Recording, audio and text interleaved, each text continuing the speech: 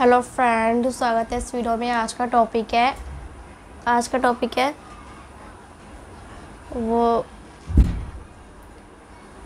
Camera reset कैसे करें? Friends मेरे पास है ओप्पो का फ़ोन और वीडियो स्टार्ट करने से पहले मेरे चैनल पे पहली बार आए तो प्लीज़ मेरे चैनल को लाइक शेयर एंड सब्सक्राइब कर लीजिएगा। तो वीडियो स्टार्ट करते हैं, आपको जाना है।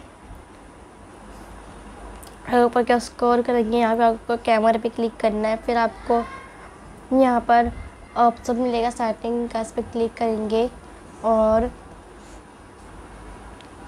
ऊपर क्या स्कोर करेंगे रिस्टोर टू डिफ़ॉल्ट पर क्लिक करेंगे और कर देंगे। तो आपका जो कैमरा है, वो रीसेट हो जाएगा। तो आई होप आपको जो कैमरा है, वो रीसेट करना हो गया होगा।